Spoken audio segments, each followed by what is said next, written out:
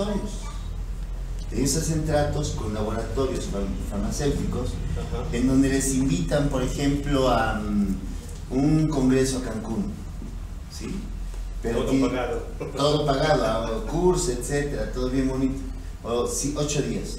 Pero ahí les van a enseñar todos los fármacos nuevos para que se comprometan con la compañía para administrarlos y recetarlos a sus enfermos. Es el secreto. Y les dan aparte sus muestras médicas. Y lo primero es, te sugiero tomar esta muestra médica, ve por las que quieras. ¿Sí? Entonces el paciente, pues, confiado, confía en el, médico y bueno, bueno, va a comprar, pero esos fármacos cuestan alrededor de 400, 500, 700 pesos. Ahí al, al, médico no le importa nada si las reacciones farmacológicas o secundarias que tenga el medicamento, es más dinero. Ahí nada más se trata de vender. Claro, ellos no ganan nada más que irse divertir y emborracharse. Nada más. Pero asimismo se que se convierten en una serie de distribuidores a nivel mundial de todas esas compañías farmacéuticas que afectan al ser humano y que producen alteraciones muy graves en la salud humana. ¿no? Pero bueno, en este caso, pues a mí realmente no me interesa eso, a mí me interesa nada más que ustedes estén bien, enseñarles a que aprendan cómo sanar, cómo curarse, ¿no? Porque es necesario hacer ese cambio de conciencia en ustedes y ustedes se lo transmiten a los hijos, los hijos a los nietos si ya están grandes, pero por lo menos ustedes ya comenzaron y bueno, ustedes sí lo toman bien porque van a vivir a lo mejor 100 años, pero 100 años bien bailando y cantando a los 90 años en algún, lugar solos. ¿no? Eh, continuando con lo que es la diabetes, yo quiero enseñarles algunos, algunos aspectos muy importantes que ustedes deben de comprender a la perfección y que dentro de las medicinas alternativas, digo medicinas, son muchísimas, muchísimas, muchísimas. Van desde la aplicación de imanes, la aplicación de balines en, los oídos, van desde la herbolaria, herbolaria eh, la acupuntura, la presopuntura, el reiki, también es otra medicina alternativa, tal vez lo conozcan, que es el manejo de la energía, manejo de canales, etc. La psicoterapia transpersonal, eh, podemos mencionar otra cosa que se llama psiconeuroinmunoendocrinología, Psico de la psique, eh, emociones, psicología. Neuro, cerebro. El cerebro interviene en la formación de sustancias que nos pueden producir felicidad, tristeza, enojo y todo lo demás. ¿no? Eh, inmuno, sistema inmunológico, glóbulos blancos, los que nos defienden de la enfermedad y asimismo los que nos protegen de todo el entorno que nos va a producir envejecimiento prematuro, eh, obesidad o el desgaste de los huesos, desgaste del cerebro, Alzheimer, etc.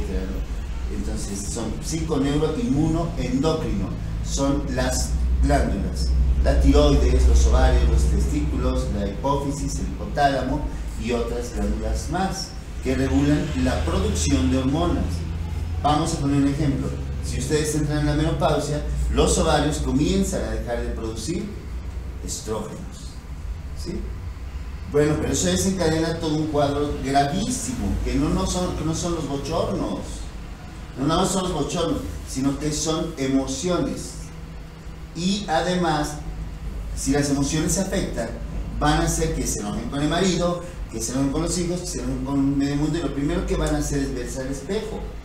Porque en Occidente la mujer es considerada que cuando deja de arreglar, ella empieza su etapa de vejez pero ¿qué pasa con la de 38 años si está en plena juventud? Vamos. Ese pensamiento, eso, eso ya fue el pensamiento. Interviene el cerebro, interviene también la psicología.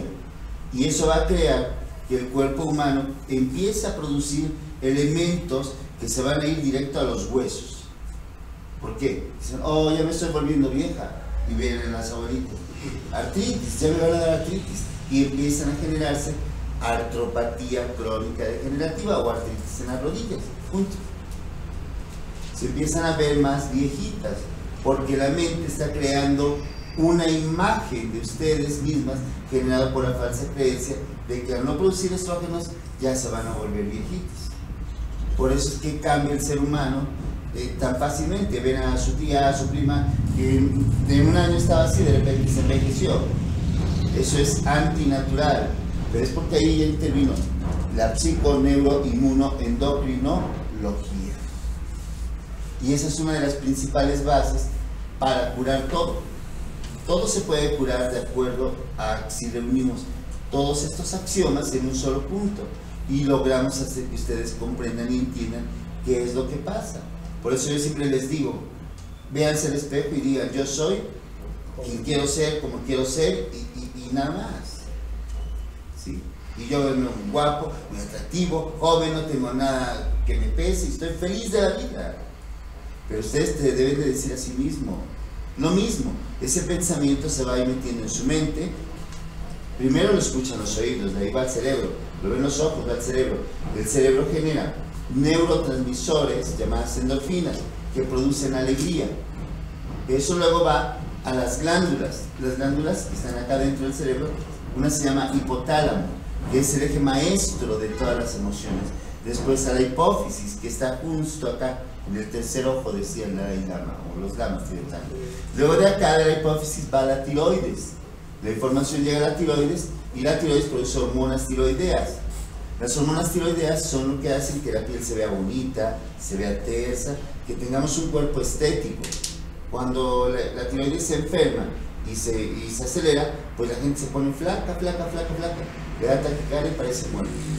Cuando la tiroides se enferma, se vuelve débil, floja, se hinchan, se engordan. Bueno, de ahí la tiroides manda ciertos mensajes a las glándulas suprarrenales que están arriba de los riñones. Yo solo les digo, no les duelen los riñones, les duelen las suprarrenales de tanto estrés. Las suprarrenales producen un neurotransmisor llamado cortisol. Cortisol que es, un, es muy bueno porque nos prepara para la lucha, para el avance, para, ante casos de estrés y eleva nuestras defensas. Pero cuando se mantiene un estado emocional negativo, como es el, el, diabético, que es bien caprichoso, bien enojón, bien bilioso, eh, que se debe de hacer lo que él dice, no lo que los demás quieran, en donde se cree el rey del mundo, el rey de la familia, el centro del universo, y todo se debe de hacer de acuerdo a lo que él dice. Si no, está mal. Bueno, cuando sucede eso, en una persona normal, esa persona ya no se vuelve dulce. Una persona dulce pues expresa emociones dulces, entonces se convierte en agrio. Una persona, personalidad agria y agria, amarga, agria la vida de los demás, pero los demás a fin de cuentas los tiramos de locos. Entonces se está guiando él mismo. Y ese, esa, esa emoción de agriedad va a afectar a la dulzura. Empiezan a botar el azúcar por todos lados y ahora la personalidad es agria. En la medicina tradicional china se dice que para quitar o controlar la diabetes debemos de quitarle lo agrio a la persona diabética. Le debemos de quitar lo caprichoso, lo enojón, todo. Y entender que el mundo pues, es vasto, es infinitamente hermoso. Porque ya no se enojan con ellos, ahora están enojados con todo el mundo. ¿Sí o no? Como diabéticos se pelean en el mercado, como diabéticos se pelean con el policía, con todo el mundo. Pero bueno, eso es parte de entender todo esto. ¿no? pero el cortisol baja también las defensas.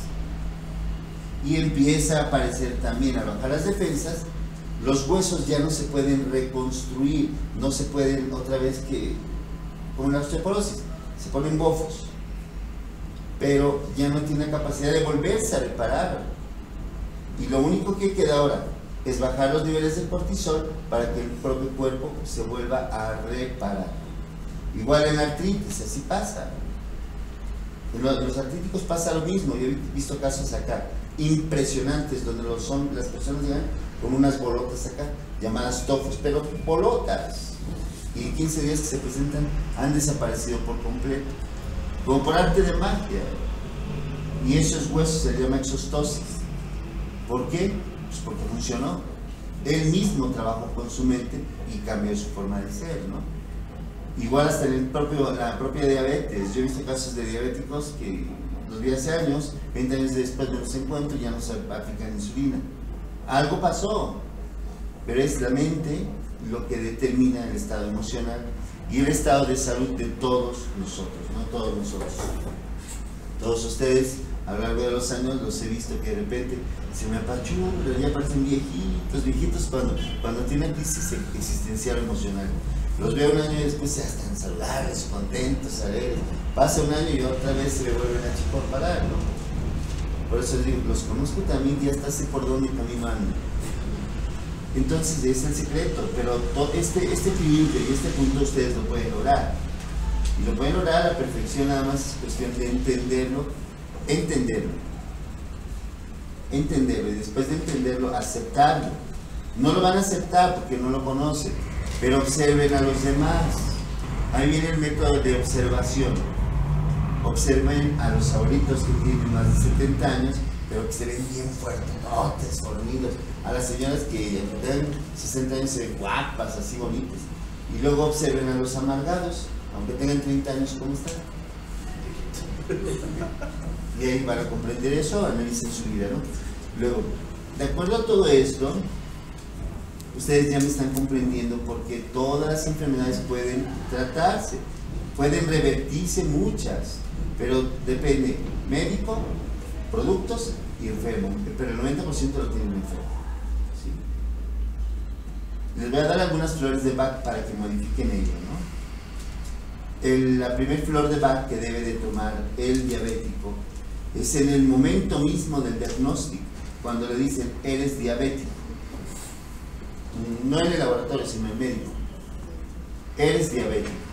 Inmediatamente viene un shock emocional muy fuerte, muy profundo, porque ya saben que alguien de su familia murió por insuficiencia renal, por ceguera, por, por por lo que sea, ¿no? Son muy muertes muy largas, muy dolorosas para, para uno que los ve, este, y sufre uno mucho. Quisiera uno tener dinero para ponerle un riñón, pero no se puede, ¿no? Entonces, el primer impacto emocional es ese. En ese momento, lo primero que hay que tomar se llama remedio de rescate. Se llama Rescue Remedy. Rescue Remedy. Este producto, pues, es excelente. Eh, tengo que mencionar la dirección porque esto lo subimos a Facebook Teléfono 462-1798, celular 044 2225 47 2289 y nuestra dirección Boulevard Norte, esquina 36 Poniente, planta alta, delante de Chedraui y pues que nos hable en este momento. Esta pues es una grabación de nuestro programa, de este curso de medicina naturista que estamos dándoles a ustedes absolutamente gratis con la finalidad de dar a conocer nuestras enseñanzas de 30 años. Así que vengan a visitarnos y no me trajeron a ningún diabético, ¿verdad? Pero sí lo sacaron una semana. Teléfono 462 1798